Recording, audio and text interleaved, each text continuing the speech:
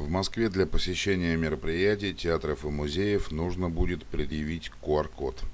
Об этом сообщает РИА Новости со ссылкой на пресс-службу столичного департамента информационных технологий.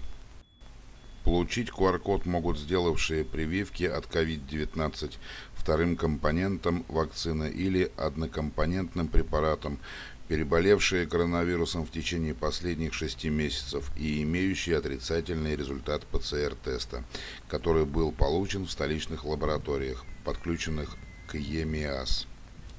С 28 октября по 7 ноября включительно столичные театры и музеи смогут продолжать работу при заполняемости помещений не более 50%, а также с использованием QR-кодов и защитных масок. С 8 ноября театры и музеи смогут продолжить свою работу с такими же условиями, но при 70% заполняемости помещений.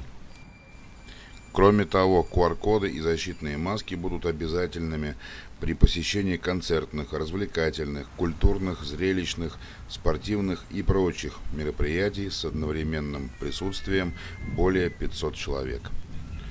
Ранее Сергей Собянин сообщил, что в столице вводятся нерабочие дни с 28 октября по 7 ноября.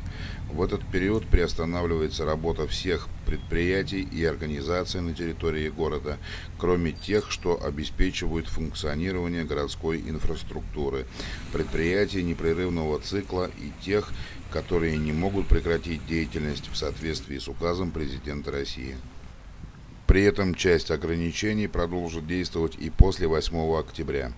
Так, для пожилых москвичей старше 60 лет и хронически больных граждан приостановят бесплатный проезд в общественном транспорте.